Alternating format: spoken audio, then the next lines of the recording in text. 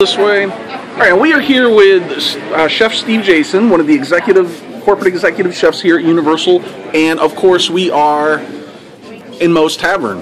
Yes. Tell us how this all came about. Well, Okay. how all the Simpsons came about, that started with our creative department and working with the Simpsons and creating the whole idea of developing this. Obviously, we opened up the original Simpsons ride a little bit, uh, probably about a year and a half ago or so, but we wanted to bring the whole thing all the way and create all of Springfield and all of the fun things that kind of went along with it that you read about in the, if you were looking into the books or just watch the program. So, uh, uh, you know, Moe's Tavern and Fast Food Alley with Lisa's Healthy Corner and the Frying Dutchman and the Krusty Burger and Cletus's Chicken and Luigi's Pizza all right out of the show and tr- tried to do a lot of things in there that were representative of everything that they were eating uh, in the, on the television show or in the books and uh, create some fun stuff for everybody to try. And everything is just so rich and full of flavor. I mean, it, you didn't just take a regular burger and slap the Simpsons name on it. You actually, you've been saying it a lot. It's silly and sloppy like Homer. Yeah. But the other thing that it is like Homer is Homer represents the typical all-American guy. Yeah, exactly. and that that's exactly what you do with the with the burger. I mean, it's really a lot of good flavors. Yeah, you know that. Of course, anything. I'm a chef, and I'm not going to make anything that I don't think doesn't taste good or doesn't taste spectacular, for that matter. I Right. mean, and we wanted the food in here to be unique, as did the writers and Matt and the rest of everybody um, with with the Simpsons. They wanted it to be unique, so we looked at that and we said, what can we do to make it unique, to give it its little twist, but at the same time give those guests a great meal.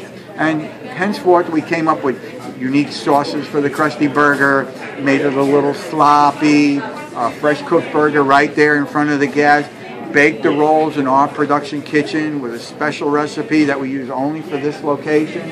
Okay, created everything like these cupcakes that you can only get here in this location. The Lard Lad donuts that'll be in Which here and at. Lard Lads, which will open shortly. And, uh, and you know, just down the line, a nice vegetarian pizza with a whole wheat crust and and the, all the fish in the Frying Dutchman, all fresh, flown in. You know, I've been flying in fresh. I, I've never bought frozen fish here ever, and I don't plan on. Even for my employee feeding, I feed my employees fresh fish. I don't. I fry. I cut all fresh vegetables. Very few. That if you went to my employee feeding area, you may see a few sautéed peas and pearl onions or something like that.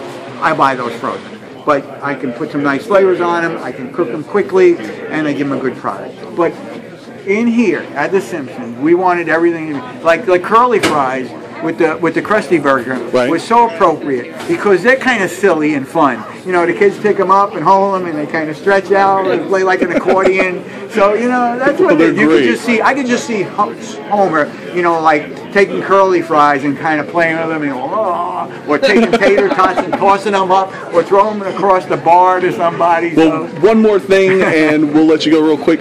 Um, the maple mayonnaise. Yeah. I'm not a fan of mayonnaise at all. I hate mayonnaise with a passion. I would eat that stuff off a bundle. it's amazing. It really is That's great. amazing. Well, you know, you think about a chicken sandwich, and you think about waffles, and what two things do you think about? I mean, I think about mayonnaise and maple syrup. So we put them together, a few other little ingredients in there, and came up with a really neat sauce to just make that sandwich a little sloppy and silly, but really good tasting. All right. Yeah. Thank you so much for your Got it. time. All right, my